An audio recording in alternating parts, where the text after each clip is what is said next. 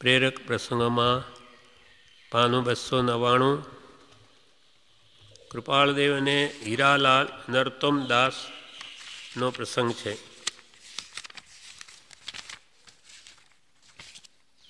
હીરાલાલ નરોત્તમ દાસ. વચ્ચેથી હીરાભાઈ કહે છે, બધા બેઠા હતા સભામાં. કૃપાલે આગળ કૃપાલદેવ તે વખતે પરમસુદ પ્રભાવ મંડળની ટીપ કરતા હતા. એક જ્ઞાન ટીપને માટે એમને કંચન અને કામિનીનો સભા મધ્યે ત્યાગ કરી દીધેલો. પૈસાની ટિકિટ સુદ્ધા કૃપાલદેવ પોતાની પાસે રાખતા નહોતા. પણ આ એક જ્ઞાન લોકોનો જ્ઞાનાવણીય કર્મ ઓછું થાય એટલે જ્ઞાન, દાન વિશે એ ભલામણ કરતા પણ એને પણ એ અતિચાર રૂપ લેખતા હતા. આ બી કરવાયુક્ત નથી, પણ એટલો બધો જ્ઞાન પ્રત્યે પ્રેમ છે અથવા જીવોનો ઉદ્ધાર કરવાનો ભાવ હોવાથી એ આવી ભલામણ કરતા. કે ભાઈ તમે આમાં લખાવો, આમ કરો, તેમ કરો, એવી રીતે શું બન્યું? સભા મધ્યે ત્યાર પછી ફરી સમાગમ પરમ કૃપાળુ શ્રી વઢવાણ કેમ્પમાં પધાર્યા હતા. તે વખતે અમદાવાદથી કેટલાક ભાઈઓ પરમ કૃપાળુ દેવના દર્શનાર્થે જતા હતા. તેઓ શ્રીની સાથે હું ગયો હતો. કૃપાલીના દર્શન કરવા બીજા લોકો જતા હતા. તો હીરાભાઈ કે, હું પણ ગયો હતો. ત્યાં મને પરમ કૃપાળદેવના દર્શનનો લાભ મળી શક્યો હતો. તે વખતે પરમ કૃપાળુ દેવની શરીર સ્થિતિ ઘણી જ નરમ રહેતી હતી. વડવાણ કેમ્પમાં છેલ્લે કૃપાલદેવનું શરીર ઘણું જ નરમ રહેતું હતું. ભાઈ શ્રી પ્રાણજીવનદાસ જીવનદાસ પરમ કૃપાળુ દેવની સેવામાં રહ્યા હતા. દવા વગેરે ઉપચારાર્થે પરમ કૃપાળુ દેવનો ઉતારો લીંબડી દરબારના ઉતારે હતો. હું તે સમયે પરમ કૃપાળુ દેવના સમાગમમાં આશરે ત્રણ ચાર દિવસ રોકાયો હતો. તે સમયે પરમ કૃપાળુ સ્વહસ્તે શ્રી પરમશ્રુત ખાતાની ટીપ થતી હતી. કેટલાક ભાઈઓ તરફથી શ્રી પરમશ્રુત ખાતામાં મોટી રકમો ભરાઈ હતી. ત્યાર પછી પરમ કૃપાળુ બેઠેલા ભાઈઓ મહેથી, જે ભાઈના હાથમાં તે ટીપ હતી, તે ભાઈને આજ્ઞા કરી કે આ ટીપ ભાઈ હીરા ભાઈને વાંચવા આપો. બધાના પાસે ટીપ ફરતી હતી. એટલે કૃપાળુ દેવે એક ભાઈને એમ કહ્યું, જેના હાથમાં ટીપ હતી, પેલું કાગળિયું, લખ. તો કે એ હીરાભાઈને આપો. કૃપાલદેવ શા માટે કહ્યું? તો કે તે વખતે મારા મનમાં એ ભાવ થયો હતો. પરમ કૃપાળુ દેવે મને વંચાવવા માટે જે વખતે આજ્ઞા કરી તે ટીપ વંચાવવા માટે તે પહેલાં મારા મનમાં એવો વિચાર થયો કે શ્રી મુખે આપણને આજ્ઞા કરે કે તમારે ભરવા ઈચ્છા હોય તો ભરો, તો આપણે ખાનગીમાં એકઠા કરેલા તમામ મળી આશરે પચીસથી ત્રીસ રૂપિયા છે, તે તમામ ભરી કૃતાર થઈએ. પેલો ડબ્બો રાખે ને, પૈસા, બે પૈસા, ચાર પૈસા જે ઘરમાં વધે નાખે, એવી રીતે એક પેટી કંઈ રાખીએ નાની, એમાં એ પૈસા ભેગા કરતા હતા. એટલે કે આપણા પર્સનલ, આપણો ખજાનો કેટલો? પચીસથી ત્રીસ રૂપિયા છે. જો કૃપાલદેવ શ્રી મુકે એમ કહી દે કે તમારે ભરવા તો ભરો, તો આપણી પાસે જે પચીસ, ત્રીસ રૂપિયા છે બધા જ ભરી દઈએ. હવે એવી ભાવનાથી એટલે કૃપાલદેવે તરત કહ્યું કે એમને આપો ટીપ. કૃપાલની કોઈ અદ્ભુત જ્ઞાન શક્તિ હતી. સામાના મનને તો કાગળ વાંચે વાંચી લેતા. જો શ્રી મુખે આપણને આજ્ઞા કરે પહેલાં, એટલે મને આજ્ઞા કરી, ટીપ મને આપવાની. બીજાને કહ્યું, તે પહેલાં મારા મનમાં એવો વિચાર થયો કે શ્રી મુખે આપણને આજ્ઞા કરે કે તમારે ભરવા ઈચ્છા હોય તો ભરો. તો આપણે ખાનગીમાં એકઠા કરેલા તમામ મળી આશરે પચીસથી ત્રીસ રૂપિયા છે. તે તમામ ભરી કૃતાર થઈએ થઈએ. તમામ ભરી કૃતાર થઈએ. આ પ્રમાણેના મનમાં વિચારો કરતો હતો. તેટલામાં તો પરમ કૃપાળુ દેવ તરફથી આજ્ઞા થઈ. હવે તો વિચાર કરતો જ હતો, મારે ચાલતું જ હતું, એટલામાં તો આજ્ઞા થઈ, જેથી હું ઘણો જ આશ્ચર્ય પામ્યો અને મનમાં વિચારો થયા કે હો પરમ કૃપાળુ દેવની અદ્ભુત શક્તિ. મારા મનમાં હજુ ભાવ તેટલામાં તો બોલે છે કે, આપો એમને. મારા મનમાં વિચારો થતા હતા, ત્યાં તો પરમ કૃપાળ દેવની આજ્ઞા થઈ. આ આજ્ઞા થવાથી હું ઘણા જ ઉત્સાહમાં આવી જઈ તે ટીપ મારા હાથમાં લીધી કે જાણે, ઓહો, જેવો ભાવ થયો ને કૃપાલદેવે આજ્ઞા કરી ગયા, હીરાભાઈને ટીપ આપો હાથમાં. એટલે મને ખૂબ ઉત્સાહથી લીધી, જાણે બહુ સરસ લખી દઉં બધું. ખૂબ ઉત્સાહ આવી ગયો અને ટીપ મારા હાથમાં લીધી. હાથમાં ટીપ લઈ વાંચ્યા બાદ મારા મનમાં વિચારો થવા લાગ્યા કે આ ટીપમાં તો મોટી રકમો ભરાયેલી છે. ત્યાં આગળ આપણી જૂજ રકમ શું હિસાબમાં? હવે ત્યાં આટલી મોટી મોટી રકમો ભરાયેલી, આપણા પચીસ ત્રીસ રૂપિયા શું ગણતરીમાં? આપણી પાસે ખાનગીમાં આશરે પચીસ ત્રીસ રૂપિયા છે, તેમાં તે શું ભરવું? આવા વિચારોથી ટીપમાં ભરવો, ભરવાને સંકોચાઈ ગયો. અને મૌનપણે બેસી રહ્યો. પણ કૃપાલદેવ કેવા છે? હવે શું ભરવું એમાં પચીસ ત્રીસ રૂપિયા? એટલામાં તો હું તો કે મૌનપણે બેસી રહ્યો. ત્યારે કૃપાલદેવ પછી પરમ કૃપાલદેવ સહજ હસમુખે બોલ્યા કે કેમ હીરાભાઈ? કયા વિચારોએ તમોને મૂંઝવણમાં નાખ્યા? કયા વિચારોએ તમને મૂંઝવણમાં નાખ્યા. તમારે સંકોચવા જેવું, તમારે સંકોચાવા જેવું કાંઈ પણ છે નહીં. તમારી જે ધારણા છે, તે તમારી વિસ્મૃતિને લઈને ભૂલ ભરેલી છે. તમે કેમ ધારો છો મારા પચીસ રૂપિયા કે પચીસ ત્રીસ રૂપિયા છે, એ તમારી ધારણા ભૂલ ભરેલી છે, માટે અમો જણાવીએ છીએ કે તમારી પેટીમાં તમારા ખાનગી રૂપિયા એકાવન છે. તે આ ખાતાની ટીપમાં ભરો.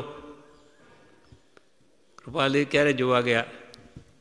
કે ગણવા ગયા એક ડબ્બામાં આટલા પૈસા છે? નાન વસ્તી કેવી અદ્ભુત છે. તમારા પચીસ રીત નથી, એકાવન રૂપિયા છે તમારા ટીપમાં. એટલે તમારી આ ધારણા વિસ્મૃતિને લઈને ભૂલ ભરેલી છે, તે આ ખાનગી ટીપમાં ભરો. પ્રથમ, તમારા મનને જે વિચારો ઉદ્ભવેલા કે અમારું કહેવું થયેથી તમારી પાસે ખાનગીમાં એકઠી થયેલ તમામ રકમ આ ખાતામાં અર્પણ કરાવ કરવા વિચારો ઉદ્ભવેલા. પાછું એ પણ કહ્યું કે અમારા કહેવા પહેલાં જ તમારા મનમાં તો એ ભાવ થઈ જ ગયેલો કે ખાનગીમાં જેટલા છે તેટલા અર્પણ કરવા. તે તમારા વિચારો ઘણા ઉત્તમ થયેલ છે. બધું જ નાન ખાતે આપી દેવાનું તમારી મૂડી જે કંઈ કહો, બધો તમારો ભાવ થયો. અમારા કહેવા પહેલાં તો તે મારા વિચારો ઘણા ઉત્તમ થયેલ છે. બીજા ભાઈઓ તરફથી લખાવેલ રકમ તમારી ગણતરીના આધારે ગણીએ, તો વધુ રકમ ગણાય. બીજા ભાઈઓએ જે પૈસા લખાવ્યા, તે રકમ તમારી ગણતરીના આધારે.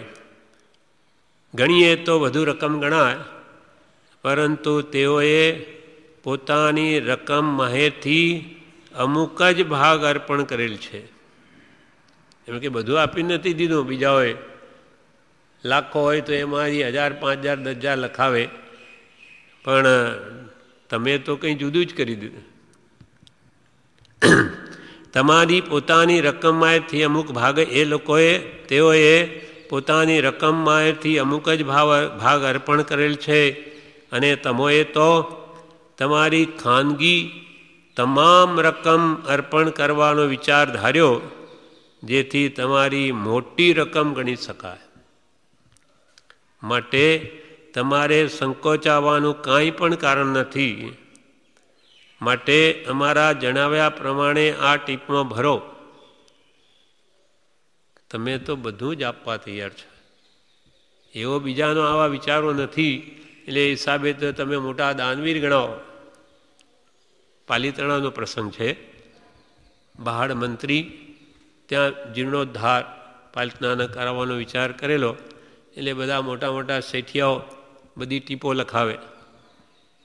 તે ઘીનો વેપારી, તેણે મન થયું કે આપણે પણ આમાં કંઈક ભરીએ. બહુ સારું કામ છે.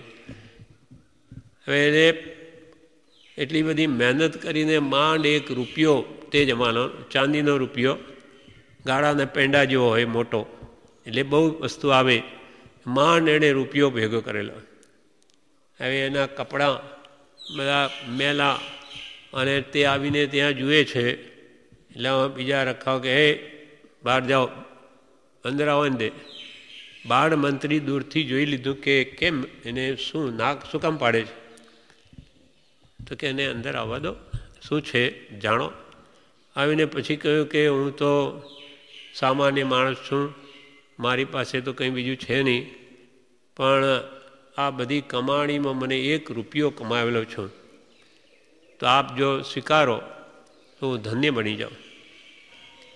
તો કે કેમ નહીં?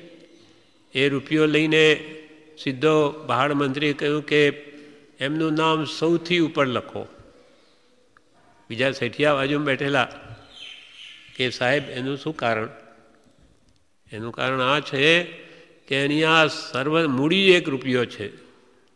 એ બધું જે આપવાય છે છે, એટલે સૌથી મોટો છે. બધા સમજી જાય કે ભાઈ આપણે કેટલું આપ્યું છે, કે બધું થોડું આપ્યું છે. અને એ પાછો એની પાસે શું છે? એટલે કેવો ઉત્તમ ભાવ કહેવાય. કાંઈ જ નથી, છતાંય આપી દેવા તૈયાર છે. તેવો જ આ છે કે તમારું જે બધું તમે આપવાની ભાવના થઈ, એટલે તમારે સંકોચાવાની કોઈ જરૂર નથી. તમે ખરેખર ઘણી સરસ તમારી ભાવના થઈ છે માટે મારા જણાવ્યા પ્રમાણે આ ટીપમાં ભરો. સાહેબજી આજ્ઞા કરી કે તમારી પાસે ખાનગીમાં રૂપિયા એકાવન છે તેટલા ભરો. તે વખતે મને વિચાર થયો કે આપણી પાસે તેટલા તો છે નહીં. અને સાહેબજી આટલા રૂપિયા કેમ જણાવ્યા હશે? પછી સ્ત્રી છે ને એકાવન લખી દે તો બાકીના ક્યાંથી લાવીશ? નહીં હશે તો. એકાવન રૂપિયા કેમ જણાવ્યા હશે? વળી કદાચિત હોય તો પણ મેં બીજા કોઈને આ સંબંધમાં કિંચિત માત્ર પણ અત્યાર સુધીમાં જણાવેલ નથી. કોઈને મેં કહ્યું નથી. તેમજ સાહેબજી પોતે પણ આપણે ત્યાં કોઈ પણ વખતે પધારેલા નથી. તો પછી ઘેર પેટીમાં રહેલા રૂપિયા સી રીતે કંઈ બતાવ્યા? વળી પછી વિચારો પલટાયા કે પરમ કૃપાળુ દેવ તો મહાજ્ઞાની પુરુષ છે, માટે તેઓ શ્રી જે કાંઈ કહે તે યથા તથ્ય જ હોય. પાછો એવી શ્રદ્ધા આગળ આવી ગઈ કે કૃપાલે તો મહાજ્ઞાની એટલે એ કંઈ ખોટું નહીં કહે. યથા તથ્ય જ હોય તે સાથે પ્રથમ જણાવ્યા પ્રમાણેના મનોગત ભાવ જાણ્યાની સ્મૃતિ થવાથી એ પહેલાંથી ટીપે મારા આગળ મૂકી મને ભાવ થયા, એટલે મારા મનના ભાવો જેમ એમ જાણી શક્યા, તો મારી પેટીમાં હોય એ જાણી શકે કે નહીં? પ્રથમ, જણાવ્યા પ્રમાણેના મનોગત ભાવ જાણ્યાની સ્મૃતિ થવાથી મારા મનમાં દ્રઢ વિશ્વાસ આવ્યો કે પરમ કૃપાળુ દેવથી કાંઈ પણ અજાણ્યું નથી. જે કંઈ કહેવું થાય તે યથા તથ્ય જ હોય. આ વિચારોથી મેં રૂપિયા એકાવન પરમશ્રુત ખાતાની ટીપમાં ભર્યા. એકાવની ભરી દીધા. કૃપાલે કહ્યું, એટલે મિથ્યા તો નહીં હોય, શ્રદ્ધાના બળે હવે ઘરે જઈને જુએ છે, તરત જોવું પડે છે કે નહીં. પાછા ભરવાના છે. હું જ્યારે અમદાવાદ ગયો, ત્યારે મારી પેટી ખોલી ને મેં રૂપિયાની ગણતરી કરી. ત્યારે રૂપિયા, પરચુરણ પૈસા તથા પાઈ અધેલા સર્વ ગણી તેનો કુલ સરવાળો કર્યો, તો પરમ કૃપાળો દેવના કહેવા પ્રમાણે જ પૂરા એકાવન રૂપિયા થઈ રહ્યા. એક પાઈ સરખી પણ ભદ ઘટ પણે થઈ નહોતી. બાણું પાઈ, બાણું પાઈનો એક રૂપિયો હતો. હા? કેટલી? છન્નું. છન્નું પાઈનો એક રૂપિયો. હા?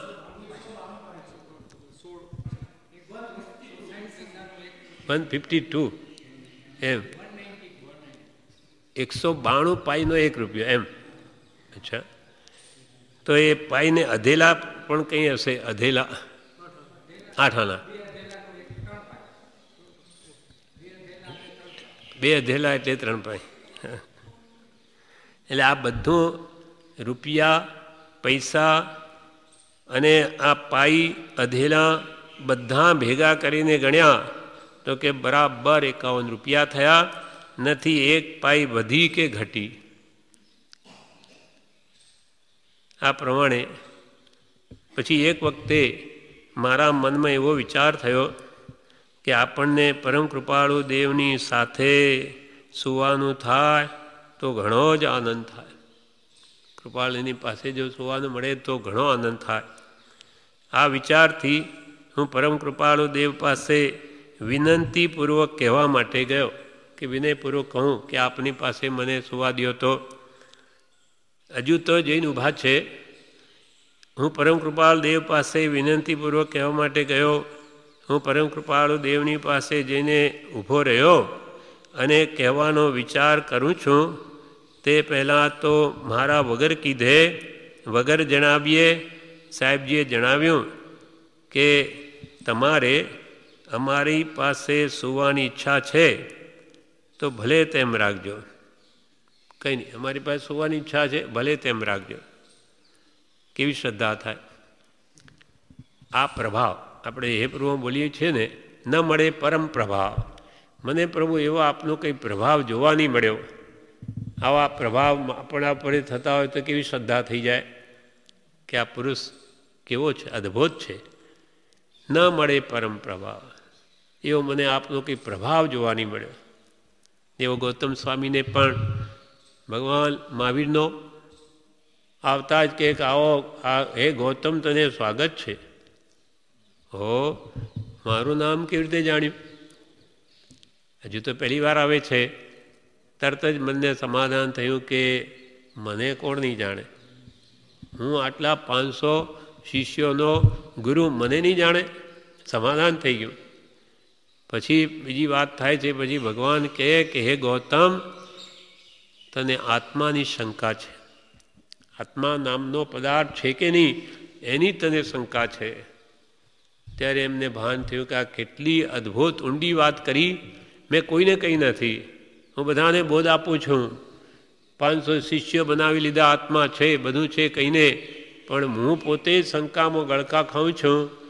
એ આ પુરુષે જાણી લીધું. આ સર્વજ્ઞ પુરુષ છે આ બધું જાણે છે. એવો એમને પ્રભાવ પ્રત્યક્ષ જોવા મળ્યો. આ પ્રમાણે આગળ જણાવે છે જે આપણે આવતીકાલ લઈશું